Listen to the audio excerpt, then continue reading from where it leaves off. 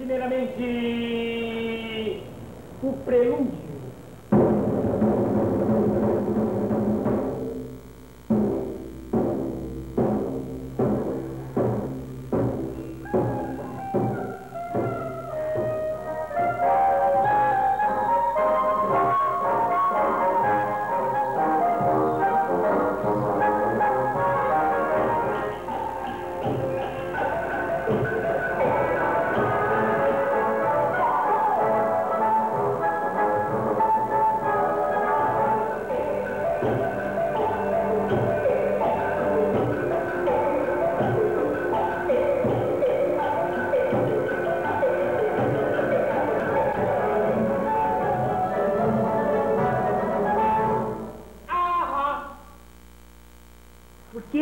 teatro alemão chega tão forte no Brasil é porque, apesar das aparências, nós devemos ter, através da nossa pequena história, ou através da grande história da Alemanha, pontos de contato.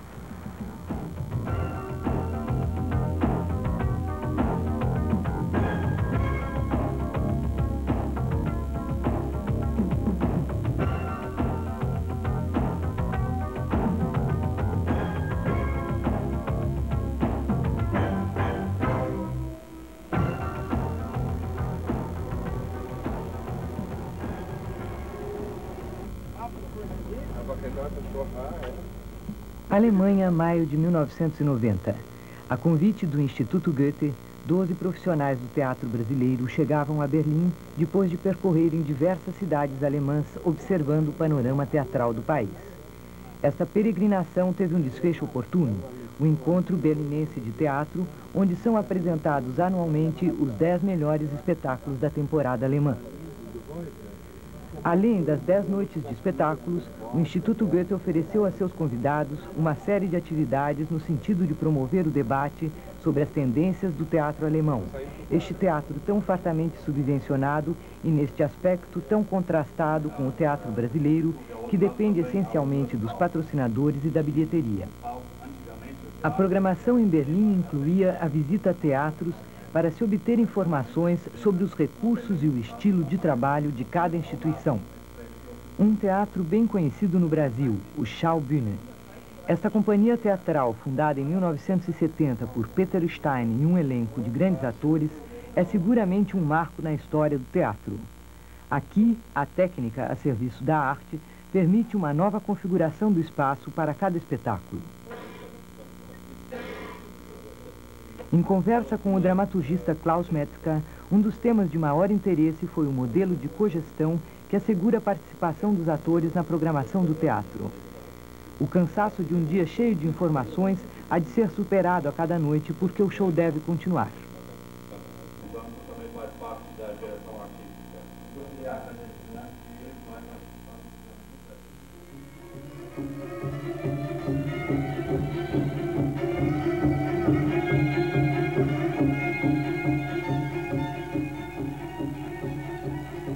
Ulrike Meinhof, um espetáculo de Bremen dirigido por Johann Kresnik, é o premiado do Encontro Berlinense de Teatro.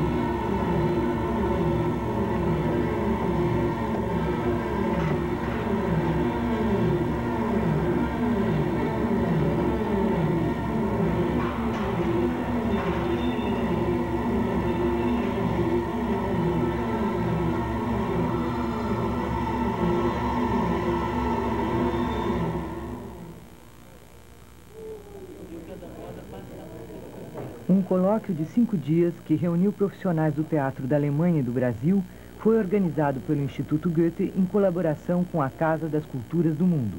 Na abertura, o diretor do Departamento de Teatro do Instituto Goethe, Roland Schaffner.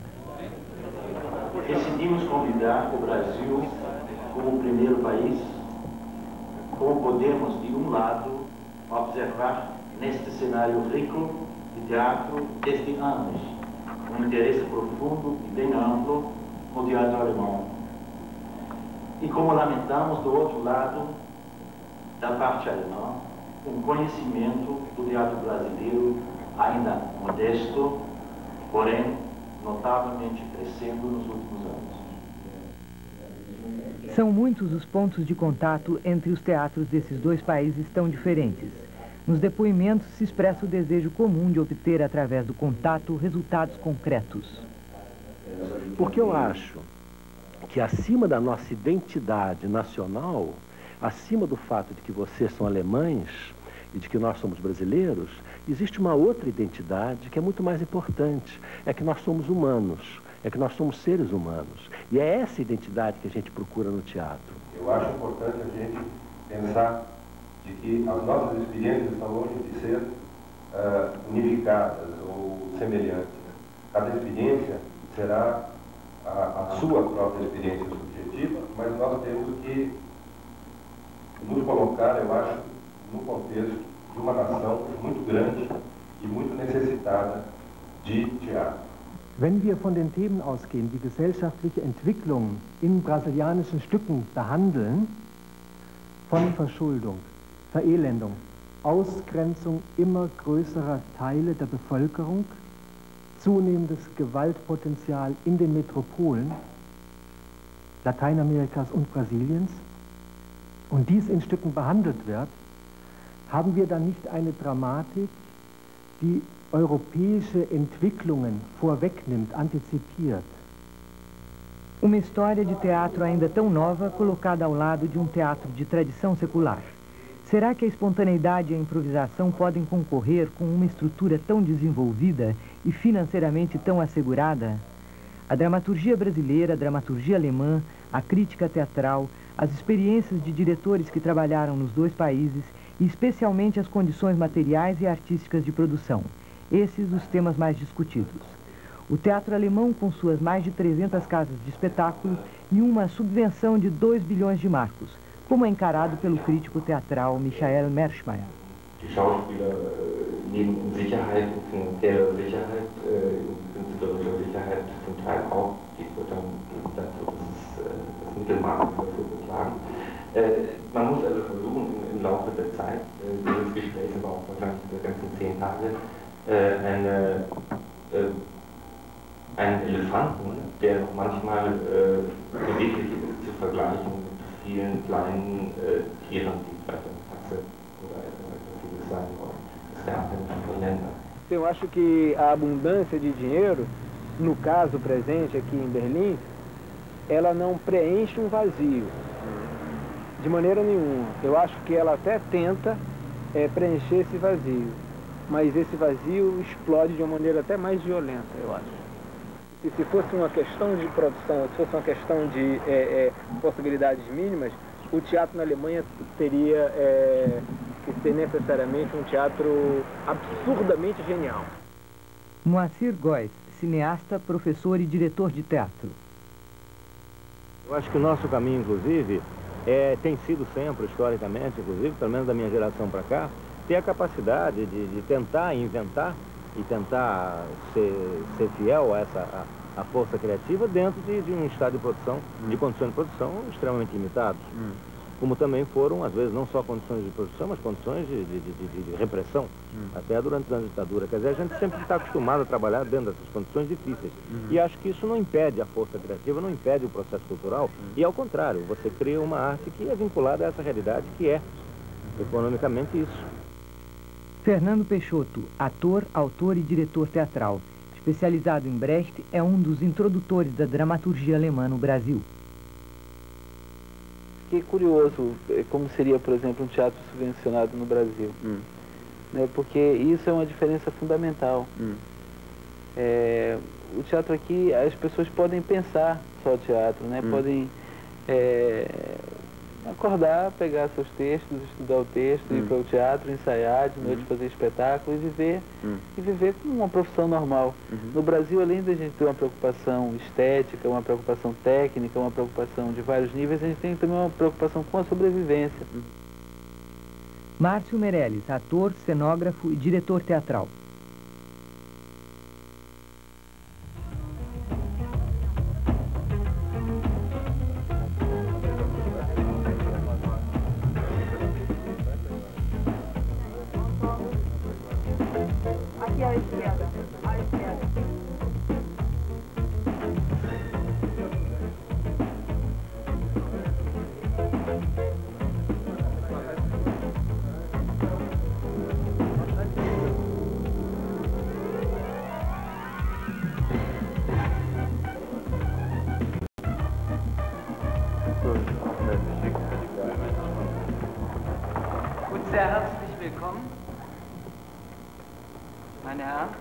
Bertolt Brecht, um marco no teatro dos dois países.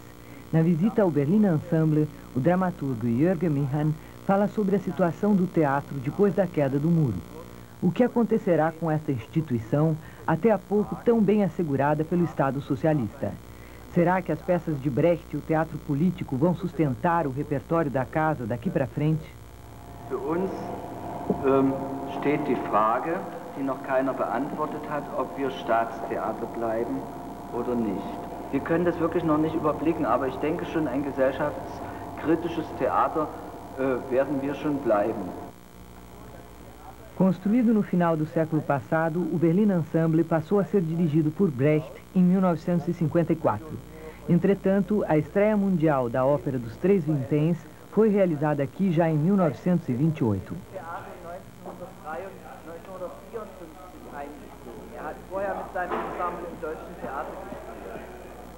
Calma, segura que Ellen Wagner não permite, hein? A unificação das duas Alemanhas é consumada, mas não sem agressão e imbecilidade.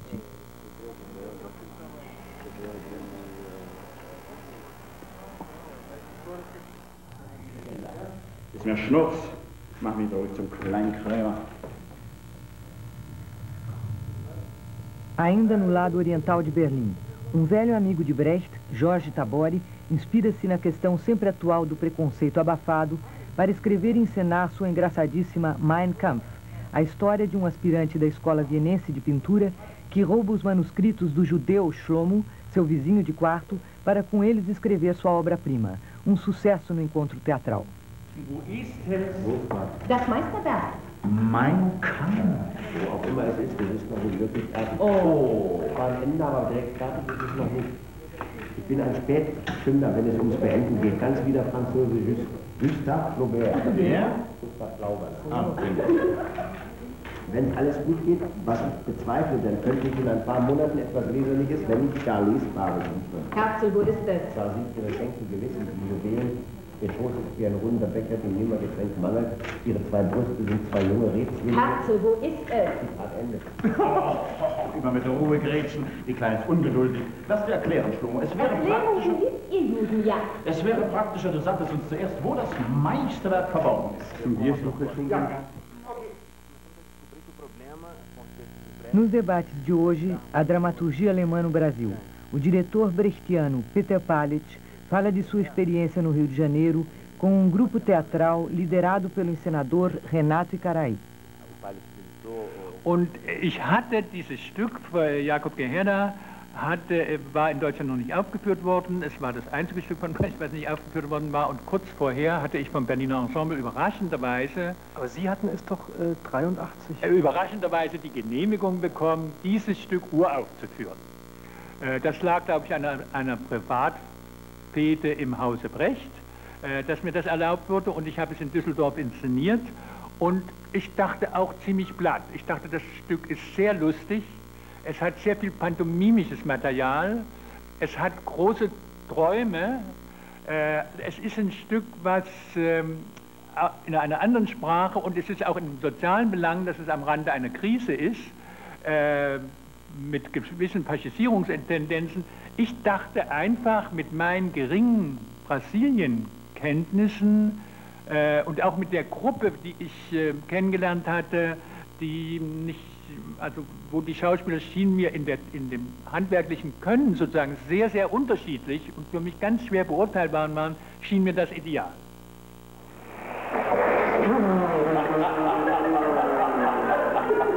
Eu não posso me dar esse luxo.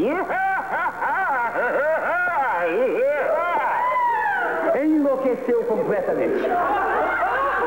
Querida Silvia, quem não abriria a palma de seus pés com alegria para receber a mulher?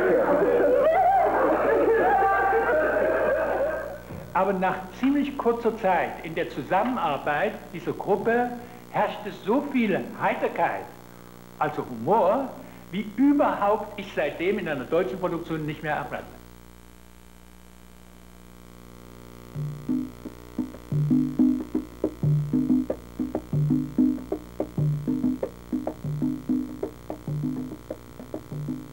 Uma brusca mudança. Brasil, agosto de 1990. Aqui, o Instituto Goethe dá início à segunda etapa do encontro Teuto-Brasileiro de Teatro, com um extenso programa, inaugurado por uma exposição fotográfica. O Teatro Alemão desde 1950.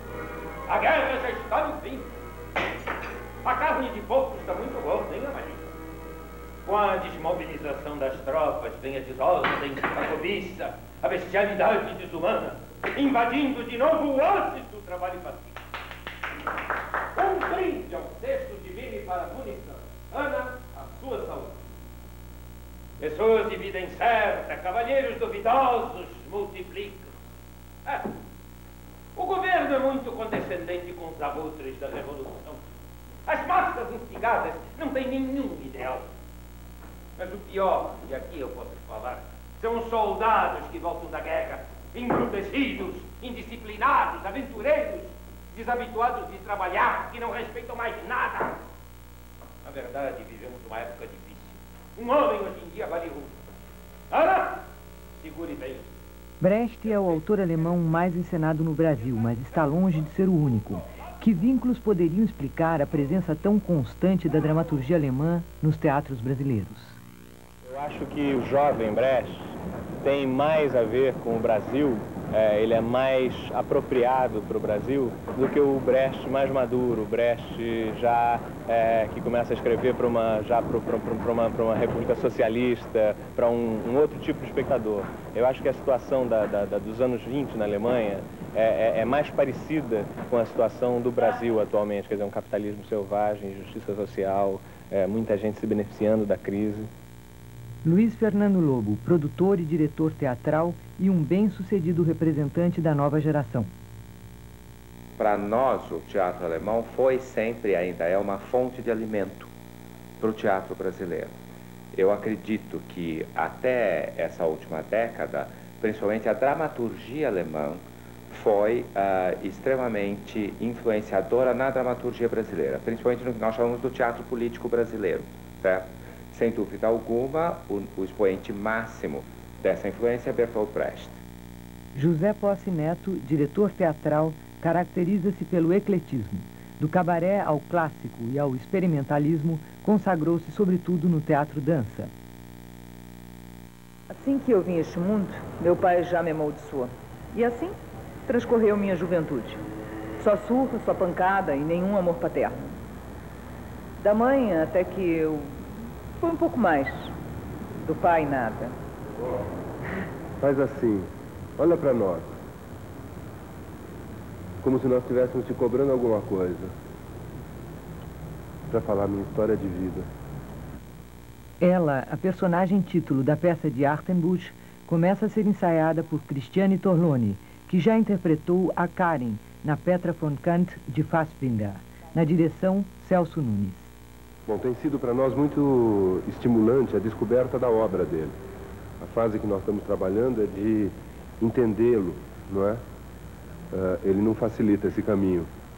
Ele procura criar enigmas o tempo inteiro, seja através dos filmes, dos textos que ele escreve.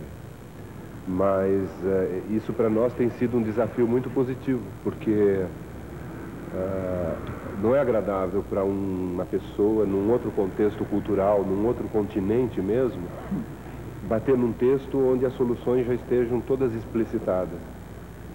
Então, nesse sentido, por exemplo, eu já me senti muito desafiado como diretor quando trabalhei o texto do Boto Strauss, onde as indicações são as mais insólitas possíveis, e quando trabalhamos também com o roteiro cinematográfico da Petra von Kant. Quer dizer que é uma prática nossa, do artista brasileiro, gostar desse tipo de desafio. Celso Nunes, ator, cenógrafo, diretor e titular do Departamento de Teatro da Universidade de Campinas. É também um dos maiores encenadores da dramaturgia alemã no Brasil. Os problemas que, de que as peças tratam, a estética com a qual as peças são feitas, até mesmo o humor com que as peças são feitas, olha, 95% disso é universal. O que acontece justamente é que as coisas morrem no transplante é porque os transplantadores, ou seja, os tradutores, não são bons. Quando eles são bons e pegam o Fassbinder, é, falemos da senhora Foncante, da Petra Foncante, que foi um sucesso extraordinário no Brasil. Eu tenho a impressão que deve ter sido um sucesso muito maior do que na Alemanha. O que acontece? Pode ser que aquilo não seja exatamente o Fassbinder dramático, torturado, que é a figura que nós conhecemos. Mas a verdade é que há um lado do Fassbinder que foi feito por mim, que foi feito pelo diretor, que foi feito pelos atores, que se encontrou perfeitamente com o público brasileiro, intensamente com o público brasileiro e fez com que a peça fosse esse enorme sucesso. E não deixou de ser Fassbinder em nenhum momento. Milor Fernandes, jornalista, cartunista, autor e tradutor teatral. Suas peças e suas adaptações o transformaram num dos dramaturgos mais encenados do Brasil. Você tem a pele mais bonita do mundo. É. E os cabelos mais bonitos. E as costas. As costas mais lindas. E os olhos mais bonitos.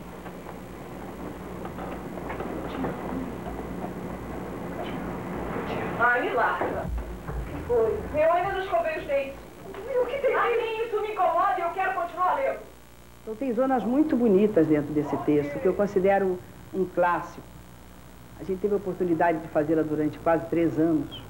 Viajamos o Brasil com casas superlotadas, as pessoas se emocionando, porque resultou um espetáculo comovente. Fernanda Montenegro, a atriz mais consagrada do Brasil, um verdadeiro mito do cinema, da televisão e, sobretudo, do teatro. Sua interpretação de Petra von Kant transformou a peça de Fassbinder num dos maiores sucessos teatrais dos últimos anos. Eu acho que o teatro alemão tem uma paixão, essas peças aparentemente herméticas, tem uma paixão o não realismo do teatro alemão, sempre, esse, esse, teatro vai sempre para um lado meio expressionista, embora seja calcado em realidades fortíssimas, acho que tem grande possibilidade no Brasil. Sérgio Brito, ator, produtor e diretor teatral. Eu acho que esse tema, a presença da guerra, a presença da, da possibilidade de destruição, não é? a discriminação, que é uma coisa que o teatro, teatro alemão trata muito, não é? Então isso tudo eu encontro na dramaturgia, principalmente dos autores mais corajosos, dos autores que talvez na Alemanha não sejam aqueles mais caros ao sistema cultural alemão, não é? E isso encontra aqui no Brasil um respaldo muito grande, um, uma aceitação boa por parte da crítica e do público. Eu, eu sinto na, na dramaturgia alemã e mesmo na atuação alemã uma técnica muito eficiente uma, uma, uma tecnologia, posso até dizer, no ato de escrever e no ato de, de fazer, um planejamento né, muito bem alicerçado. E que talvez isso confine as pessoas, que isso se torne uma camisa de força. Antunes Filho, diretor e professor de teatro. Sua montagem de Macunaíma é o maior sucesso internacional do teatro brasileiro. Os teatros alemães não são tão experimentais assim como deveriam ser, como poderiam ser. A gente tem a impressão, como tem muito dinheiro, então é o teatro mais experimental do mundo. Não é. Não é, é um teatro que, às vezes, muitos deles fabricam peças como se fabrica salsicha, não é? A gente sabe que tem aquele mercado consumidor e é para aquele mercado consumidor que vão as salsichas e que vai o teatro. Augusto Boal, autor, diretor e teórico de teatro, criou o Teatro do Oprimido, uma forma revolucionária do fazer teatral praticada em várias partes do mundo. O teatro alemão, produzido na Alemanha, é apresentado em carne e osso ao público brasileiro. Die Barbara und die Maria waren jetzt zweimal im Theater bei sehr erfolgreichen Veranstaltungen. Es war ein Applaus, dann applaudieren Sie zurück, sagst du, und dann ist fertig.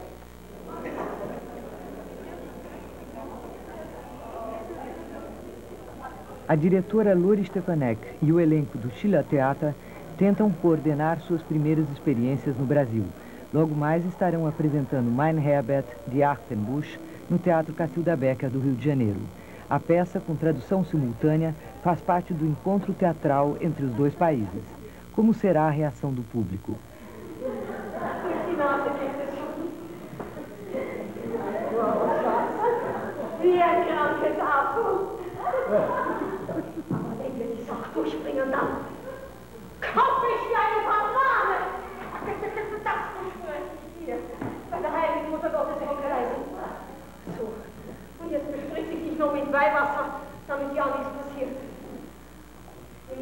Vaters und des Sohnes und des... Wie hat er geheißen? Jetzt bin ich so aufgeregt, dass mir unser dritter Herr noch nicht einfällt. Ja, bitte, gilt fürs Werk. Herr, lass die Polizei vorübergehen. Mein Wille geschehe ausnahmsweise.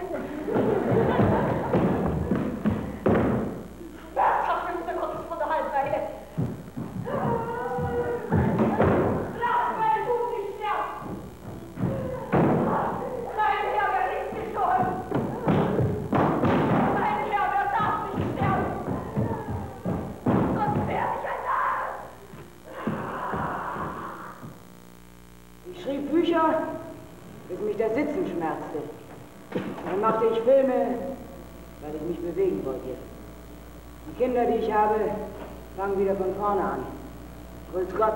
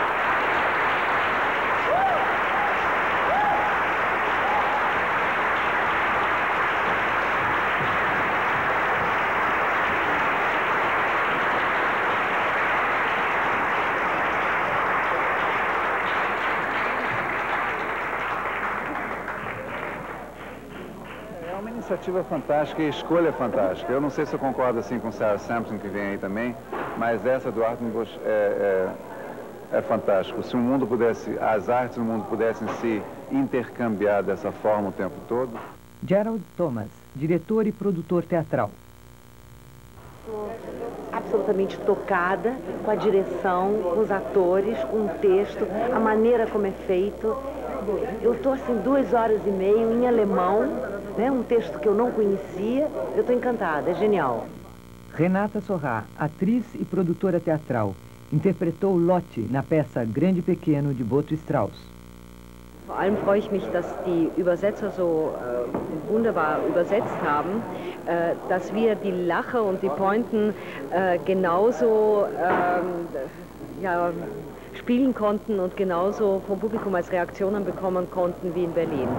Du meinst, das Publikum hat genau reagiert wegen Ja, also ganz erstaunlich, ganz erstaunlich, sogar oft ohne Zeitverzögerung. Also wir wissen gar nicht, wie das möglich war. Lori Stefanek é atriz e diretora teatral. Nessa tarefa, uma das pioneiras do teatro alemão.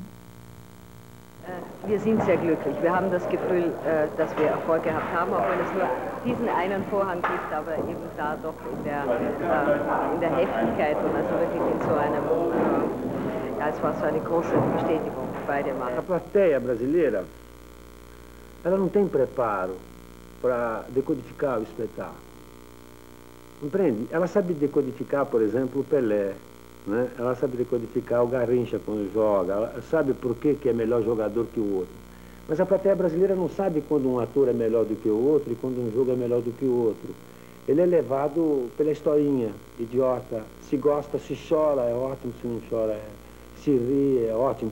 Mesmo em, em- peças, por exemplo, em comédias, quando o público ri muito, o público não aplaude no final, porque está cansado de rir. Quando me dizem no Brasil a peça foi aplaudida de pé, eu, disse, eu digo sempre, foi aplaudida de pé porque o público estava com pressa de ir embora. porque, na verdade, o público aplaude, aplaude normalmente muito pouco aqui. Para aplaudir muito é preciso que tenha havido um grande entusiasmo, geralmente. Mas, se você quiser as peças alemãs, Petra von Kant era muitíssimo aplaudida, mas daí você terá sempre o fator, a grande atriz popular. Na verdade, estariam aplaudindo talvez mais a atriz, que era Fernanda Montenegro, mais uma vez, do que o espetáculo, do que o diretor, do que o autor. Quando o público não, não se levanta aplaudindo, coisa parecida, no Brasil, ah, não- nós não ficamos assustados.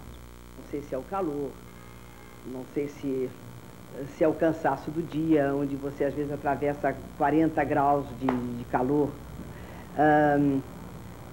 É, nós somos assim. O público que vai ao teatro não é um público informado sobre o que vai ver. Eu sempre tenho vontade no Brasil, antes de começar um espetáculo, conversar um pouco com o público, vocês vão ver um negócio assim, mais ou menos, dar uma pequena explicação, mas seria meio antipático, meio pretencioso, mas a vontade que eu tenho, tenho.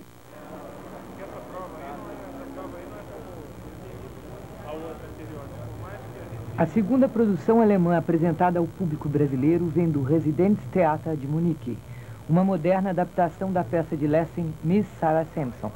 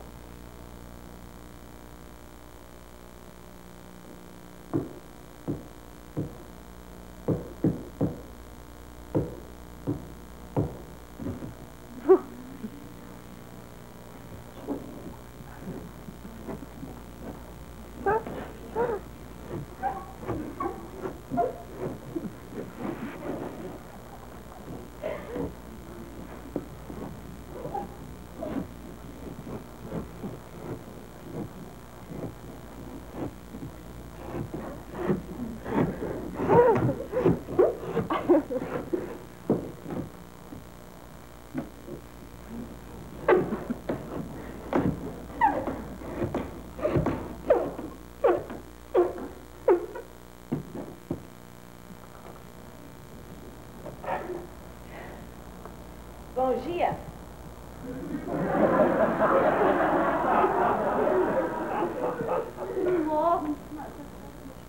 Es war ein sehr radikales Projekt. Es war einer der schwierigsten modernen Autoren mit Achternbusch.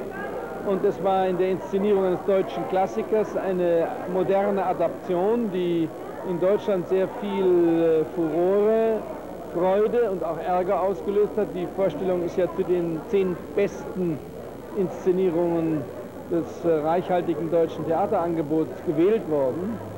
Und sie ist sehr kontrovers diskutiert worden.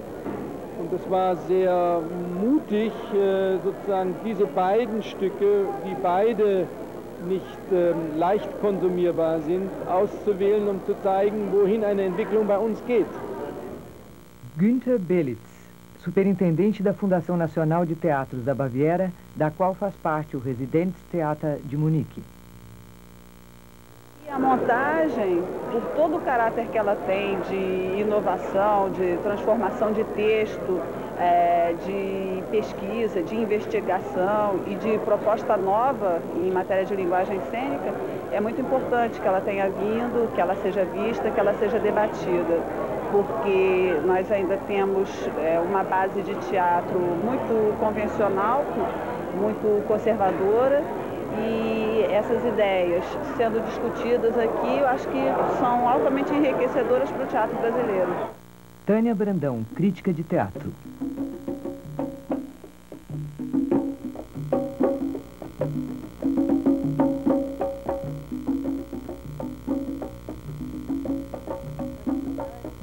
Este cenário do Corcovado é visto pela primeira vez pelo diretor Dieter Dorn, que participa do encontro teatral e nos dá as primeiras impressões sobre o teatro brasileiro. Das liegt natürlich auch daran, dass das äh, dass eine ganz andere mh, Art der Lebensäußerung äh, natürlich hier ist. Nicht? Und also bei uns ist der Ausdruck ja mh, der, äh, sagen wir mal, der Starre unseres, äh, eigentlich unseres Lebens abgerungen. Und hier ist das Leben schon mal ganz anders und ganz offen und, und, und so aus, einen ganz anderen Ausdruck. Wenn man sich hier rumguckt. Ne? Ja, so ist es.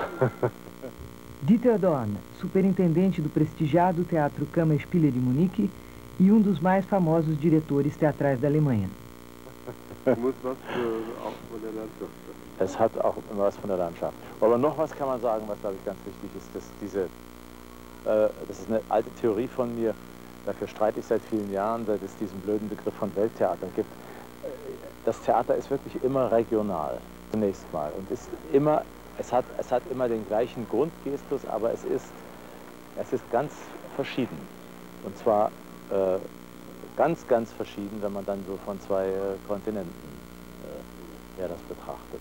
Und, äh, und es kann eigentlich immer nur auf den jeweils anderen ausstrahlen, wenn es in sich und für die Region, für die es gemacht ist, stimmt und spannend ist. Dann kann das ausstrahlen. A gente vai gritar, mas vai ser sem microfone.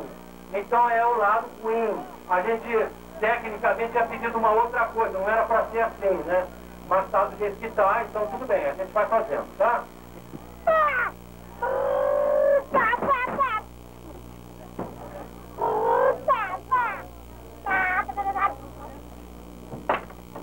Teatro feito com leigos que interpretam as situações de suas próprias vidas, traduzidas em grande parte pela miséria.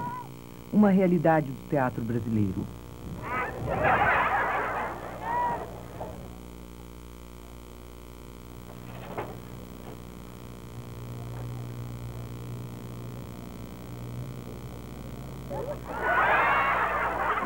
O que esse teatro tem a oferecer?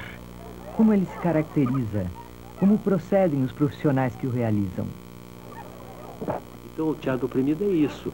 É um sistema que ajuda todo mundo a perceber essa característica arcaica, não é? que é a primeira característica do ser humano, a primeira descoberta do ser humano, e ajuda todo mundo a utilizar o teatro, entende? Como meio de comunicação, usar o teatro como meio de analisar não é, a sua a, a situação, não é, as suas opressões, sobretudo, e usar o teatro como local de ensaio de ações futuras. Não é?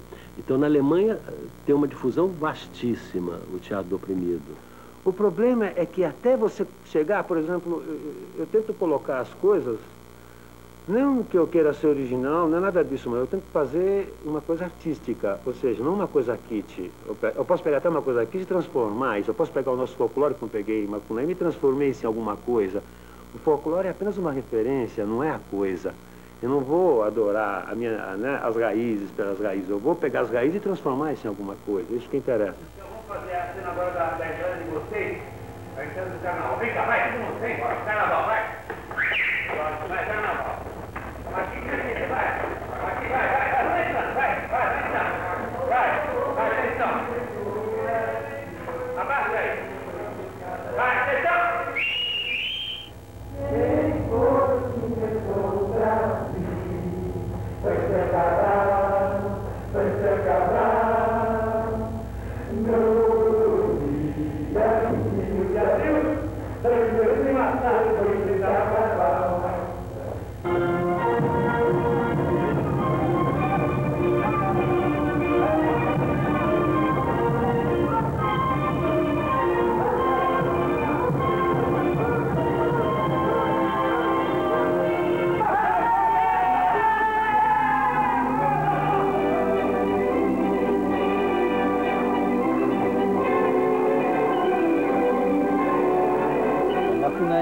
foi um, um trabalho que nós nem esperávamos o que ia acontecer daquilo, né? Porque foi, pra, foi um ano de preparação e um ano de convívio com um grupo de atores e com o diretor, com o Antunes, num sistema quase que conventual. De trabalhar todo dia, o dia inteiro com aqueles atores fazendo teatro e eu dava aulas para eles de, de, de artes plásticas, a ponto deles experimentarem coisas no próprio corpo, na construção do figurino. E então eu acho que por causa disso, de um tempo tão grande e de uma busca da, da, da raiz brasileira, da, aliás, das raízes da etnia brasileira, da formação brasileira, acho que talvez por isso o Macunaíma tenha sido um espetáculo de, de tanto impacto que acho que até hoje ainda o Antunes uh, roda com Macunaíma por aí pelo mundo. Naum Alves de Souza, cenógrafo, autor e diretor teatral, um dos mais dedicados aos temas regionais brasileiros. Eu não tenho mais aquele complexo de inferioridade que todo brasileiro tem em relação à, à metrópole, à Europa, com a nossa educação francesa. Eu não tenho mais isso. Não é uma coisa de nacionalismo, nem de ufanismo, nem nada. É uma coisa de ficar bem comigo mesmo. Dona Doida, um monólogo baseado nas poesias de Adélia Prado e interpretado por Fernanda Montenegro, chega ao terceiro ano de sucesso. Pregar colinha dupla os botões da camisa do meu homem. Fico querendo um Romeu constantemente na minha janela, falando e tocando violão pra mim fosse a única mulher desta terra e a mais bonita sem a qual homem algum pode beber. Oh, meu Deus, no fundo é isso mesmo que eu quero. É só por isso que dessas vezes uso o teu santo nome. Em socorro do meu humano amor. É usar em vão. Deus não me fez até a cintura pro diabo fazer o resto. O teatro brasileiro, enquanto fenômeno teatral, é, é, é muito rico perto das condições que ele tem para acontecer. E essas condições não são só financeiras. Essas condições foram desde a censura, né, que tolhia o exercício da própria coisa, mas que provocou um exercício de linguagem muito mais criativo. Quando a censura uh, desapareceu, nós não tínhamos textos nacionais, porque uh, for, foram a, afogados, foram sufocados os autores nacionais. Então nós passamos a criar novas linguagens, nós começamos a fazer adaptações de literatura. Então surge toda uma tendência que vai dar no, nos workshops, no teatro dança, em todo um, um, um tipo de linguagem uh, que uma nova geração começou a trabalhar com criação coletiva. Uh, então é, essa forma meio improvisada de ser do teatro brasileiro é a sua maior riqueza. Por quê? Porque se ele for depender das condições estruturais, por exemplo, em que o teatro alemão se dá, nós não teríamos nenhum teatro funcionando no Brasil.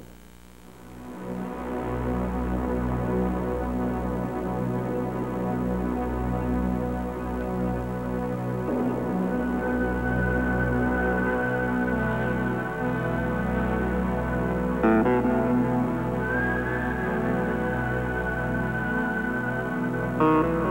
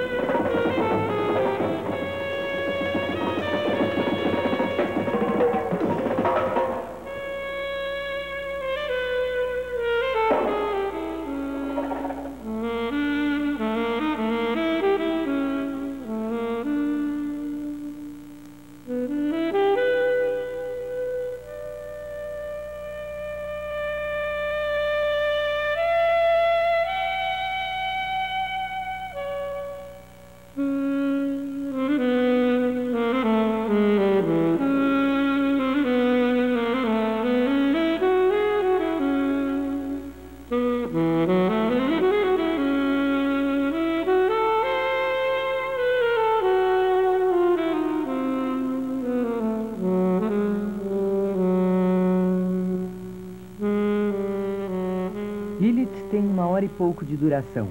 Os espetáculos brasileiros raramente são muito maiores do que isso. Este limite de tempo é fruto de uma concepção ou uma concessão ao público? Acho que essa é uma explicação. O clima, né? você se manter hum, fechado muito tempo dentro de um espaço em pleno calor, mesmo com ar refrigerado, a volta para casa que é complicada. E também eu acho que os espetáculos não têm que ser longos. Eu acho isso uma chatice também. Que já sabemos que alguém, no tempo, no, no, na sua origem, determinou que qualquer tragédia definitiva da raça humana pode ser resolvida em uma hora e meia de, de, de teatro. De qualquer maneira, esse prolongamento das peças que estão acontecendo agora na Alemanha e em outras partes do mundo é o que eu chamo um pouco a estética da intimidação. Quer dizer, quando uma pessoa senta o rabo cinco horas numa cadeira, você entende? E vê uma cena que o cara vai dizer assim, boa noite, como está sua mãe? A sua mãe está muito bem? Diz, não, morreu ontem. Se isso aí, para acontecer, isso daqui, esse negócio leva meia hora, se ele sentou o rabo ali meia hora, não se levantou nos primeiros cinco minutos protestando, disse, isso é um bestialógico, eu não quero ver essa besteira, vocês estão prolongando isso para me fazer de besta, se ele não se levanta, ele pagou um preço psicológico por isso e ele vai sair dizendo que é genial. Você entende? Essa estética da intimidação existe o tempo todo. A programação do Instituto Goethe no Brasil teve vários desdobramentos.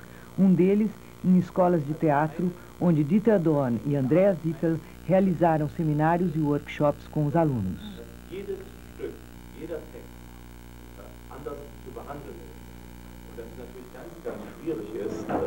Da einen, eine, also diesen jungen Menschen eine sinnvolle Anleitung zu geben, wie man, wie man die Tragödie, die Komödie äh, äh von Molière, von, äh, von Lessing oder äh, von, von Aristophanes äh, spielt.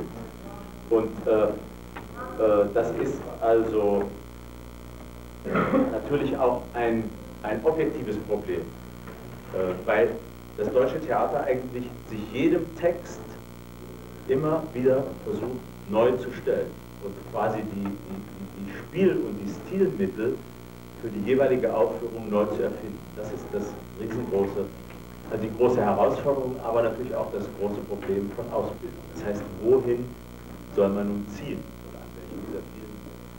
Fassbinder übernahm die Intendanz des Theaters am Turm in Frankfurt hat sich aber mit dem Theater nicht wirklich eingelassen, sondern stattdessen einen Film nach dem anderen gedreht. Henning Heispiter, professor de teatro da Universidade Livre de Berlim e fundador da revista Theater Heute. Fassbinder é mais estimado no Brasil do que na Alemanha, e também Strauss, Artenbusch e Kreutz estão na lista dos autores contemporâneos prediletos. O tema de Rich Peter em sua palestra é sobre o desenvolvimento do teatro alemão depois de 1945 e sobre o conceito de direção de Kortner a Kastoff. Figurino, começam a rir e tal, eles são atores, aparentemente, em cima do palco novamente. Prólogo, é, exato, epílogo, onde, em que momento, onde começa, onde começa o epílogo? Henry Toral, docente da Universidade Livre de Berlim, dramaturgista, crítico e tradutor especializado em dramaturgia brasileira. Em princípio, onde começa o epílogo? A pesquisa dramatúrgica, tema do seminário editoral, era até hoje uma tarefa dos diretores. O dramaturgo, ou pesquisador dramatúrgico, foi batizado pelos brasileiros de dramaturgista. No workshop, Toral orienta as pesquisas da peça Céu e Terra de Gerland Heinzhagen chegaram nuvens, depois vento muito brando, depois temporal, depois trovão, raios, tempestades e por fim água. E por fim chuva. E eu saí do jeito que estava, sem guarda-chuva nem capo. Saí para o pátio e me parei no pátio. Assim. E respirei. Foi indescritível, como na primeira vez. Os diretores de teatro dos dois países relatam suas experiências com o autor Rainer Müller. Ich fand interessant, äh, dass in den einleitenden Worten eben davon die Rede war, dass Müller Schauspieler und Regisseure herausfordert. dem fantasiereiche Lösung abverlangt. Das ist für die Regisseure ganz sicher der Fall, was von der Seite der Schauspieler wurde das im Theater der DDR ganz häufig bestritten. Peter Kranz, jornalista da Rádio de Berlim Oriental e crítico de teatro. Claro que o Rainer tem, tem através de, dos canais da cultura ocidental, tem um acesso gigantesco a todos os outros países também. Se isso, isso acontece na Alemanha, num país onde as pessoas que vão ao teatro se consideram hochgebildet, né, que são altamente uh, cultos e educados, né, uh, eu acho que os mesmos códigos funcionam em países que não são tão hochgebildet. E talvez de uma forma um pouco melhor. Regisseure, die sich daran versucht haben, die Bühnenbildner ein sehr, sehr gespaltenes Verhältnis zu Heiner Müller als Autor haben. Äh, ein äh, ein äh, Verhältnis, das zusammenhängt mit der Arbeitsweise der Schaubühne, mit der inneren Struktur des Theaters. Auf jeden Fall ist es meines Erachtens so, dass beide Versuche, soweit man das äh, sagen kann, beide Versuche mit Heiner Müller auf gewisse Art und Weise schiefgegangen sind. Also beide Ergebnisse ein, äh, ein Schuss am Ziel vorbei waren. Klaus Metzger, dramaturgista do Schaubühne de Berlim. Meu fascínio inicial com Miller foi realmente como diretor. Eu sentia que ele entregava textos para um diretor que movem a capacidade criativa muito mais do que o texto normal, onde você tem que exercer um processo criativo, mas ele instiga a cada palavra, a cada frase.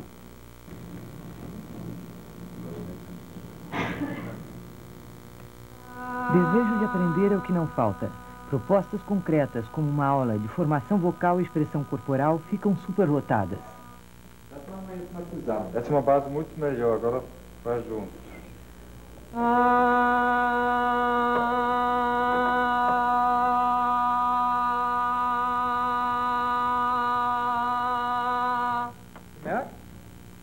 Este workshop está sendo realizado por Andrea Zippel, professor da escola Otto Falkenberg de Munique.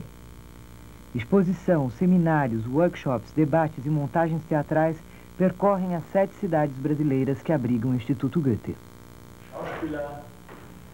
Auf der Probe, wenn sie einen gemeinsamen Weg gegangen sind, auf der Probe allein mit dem Regisseur, äh, wo es überhaupt noch kein Publikum gibt, so gut sind, wie sie dann nie wieder sind, wenn sie die Schlacht mit dem Publikum aufnehmen.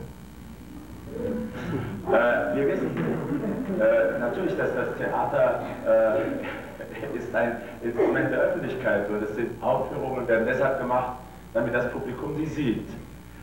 Aber ob sie das jetzt positiv sehen oder negativ, es ist immer ein Kampf natürlich. Und zwar ein Kampf um die Durchsetzung äh, der Intentionen äh, der Beteiligten. Que um bom diretor é como um bom mestre. No dia da estreia, ele tem que virar público. Ele tem que deixar que a obra caminhe com todos os criadores. Ele apenas deve ser o catalisador deste processo, não o dono. Ja, so ist es auch nicht gemeint. So habe ich das nicht gemeint. Ich habe nur, ich auf einen dialektischen Prozess hinzuweisen versucht und, und ich meine auch nicht Schauspieler von, frei oder nicht frei. Ich frei die als sei Theater. Se as divergências são produtivas, se os debates, os seminários, a troca de experiências podem oferecer resultados concretos para ambos os teatros, é algo que só o tempo dirá. Wenn man es sehr knapp formuliert, bei den Diskussionen wird schon die tiefe Verschiedenartigkeit der beiden Theater deutlich. Ihnen bedingt ist durch die tiefe Verschiedenartigkeit der Gesellschaften, der ökonomischen Bedingungen, der Geschichte. Man kann eigentlich in diesen Diskussionen vorwiegend feststellen, wie viel nicht übereinstimmt äh, zwischen den beiden Theatern. Und äh, über so einen Abgrund des Nicht-Vereinbaren hinüber kann man dann eigentlich sehr gut Informationen austauschen. Oder man sich fragt, was man umgekehrt vielleicht für Anregungen von hier nach Europa mitnehmen kann. Da ist es doch ganz gewiss die Spielfreude, das Temperament, die Fähigkeit, sich körperplastisch auszudrücken, die hier scheint auf eine ganz ursprüngliche Weise vorhanden ist und nicht erst antrainiert werden muss. Also ich habe immer den Eindruck, in Brasilien, also wächst die Kreativität aus allen, äh, aus allen Ritzen und Poren. Und das Problem ist aber, sie zu disziplinieren. Das sehe ich immer noch eine Schwierigkeit bei brasilianischen Schauspielern. Eu não sou uma expert na dramaturgia alemã, mas eu tenho a impressão que é o teatro mais vital que se está fazendo na Europa, quer dizer, do, do que me chega, não é? Como texto, como, como também busca de uma estética eh, explosiva, dentro de uma inquietação também de, de fim de século e de fim de milênio. E, e tem também um compromisso não só com o que possa resultar visualmente falando, mas também como carga poética, quer dizer, como, eh, como grande voo do poeta dentro dessa dramaturgia. Äh, ich bin schon interessiert, dass das auch weitergehen kann. Ich weiß nicht, ob das hier möglich ist. Ich bin interessiert an brasilianischen Stücken, über das, was wir jetzt an Rodriguez Übersetzungen hinaus haben und bin auch mit Regisseuren im Gespräch, ob sie möglicherweise Interesse und Lust haben in einer anderen Sprache, unter anderen Bedingungen, was das sehr erschwert, einen Impuls von Brasilien möglicherweise in die Bundesrepublik zu tragen. Das äh, sollte meines Erachtens der Sinn sein. O que eu acho que o brasileiro mais do que nunca precisaria, contacto, né? receber mais informações, receber vídeos europeus, receber a presença de gente que quisesse vir aqui dirigir peças.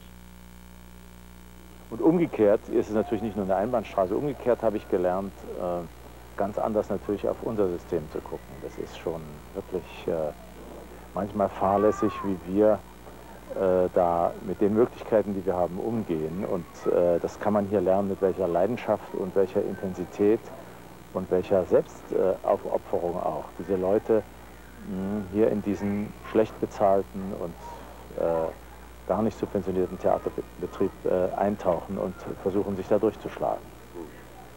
Und da, äh, da kann man äh, wirklich äh, den Hut ziehen und sehr viel lernen. Este encontro que eu achei importante, esse encontro entre brasileiros e alemães. E, mas eu lamento que talvez esse encontro, não sei se foi o caso, né? porque eu não tive oportunidade de participar, se isso tornou um encontro de compadres.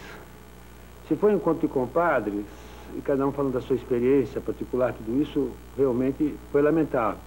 Se isso realmente resultou, ou pode resultar, numa coisa efetiva, real, que nos ajude à independência, que nos ajude a crescer, ao vísceras, bem-vindos.